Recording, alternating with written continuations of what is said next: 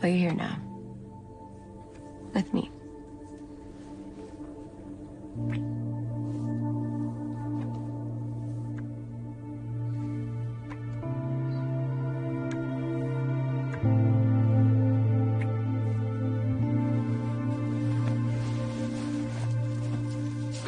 Help. I'll be right back, okay? Hold on.